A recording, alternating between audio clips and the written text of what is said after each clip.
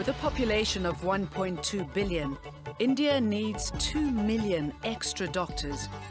But Dr. Shetty is outraged by a system that requires doctors to buy their place in a hospital. Even though we produce the largest number of doctors in the world, we have a shortage of close to 1 million doctors. Medical profession, medical education is a very lucrative business in India.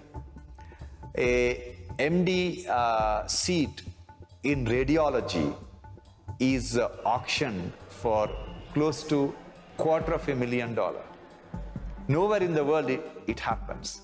I had my training in England. They gave me a job, they gave me salary, they gave me the training.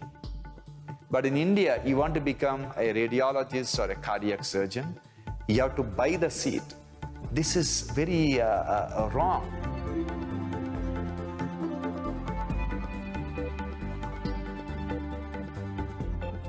There has to be a radical change in the way the young doctors are trained.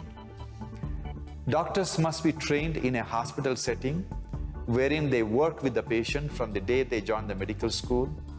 And every young doctor should be allowed to pursue his dream of becoming a cardiac surgeon or a neurosurgeon or whatever he wants to.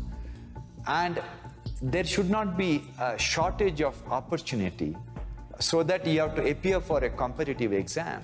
I can't pass a very, very competitive uh, test to become a surgeon.